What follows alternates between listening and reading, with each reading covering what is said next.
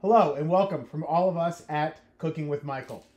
Want to take a quick second and let you know that what we've done is we've uploaded all of the ingredients to each one of our videos for what we've made during that video. It'll make it easier for you guys when you guys, uh, after watching the video or even before watching the video, to have what you need to have to make it a really special date night dinner.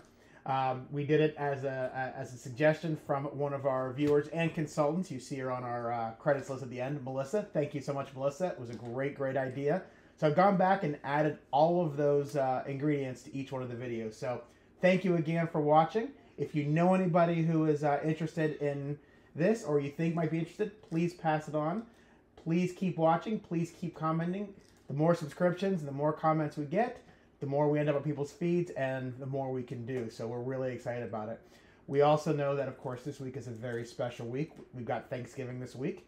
So uh, coming up on Saturday, we'll have our regular Saturday date night dinner. It'll go up on at 8 p.m. as it does every Saturday. But we're going to do something a little bit different. Because you'll be uh, probably stuffed and filled with turkey after Thanksgiving, you always have leftovers, turkey sandwiches, turkey croquettes, turkey soup, turkey, turkey, turkey, turkey, turkey whatever. We're going to do something non-turkey related uh, to help you have a great date night dinner. So, on behalf of all of us, my boys here, who are the reason why my wife would have date nights, uh, my wife, who is my producer, director, uh, and behind the scenes with the camera, as well as helping editing, uh, we want to wish you a very, very happy Thanksgiving. So, ready, boys? Happy, happy Thanksgiving! Thanksgiving.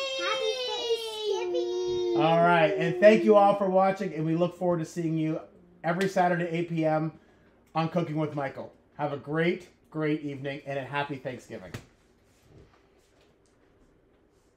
Bye.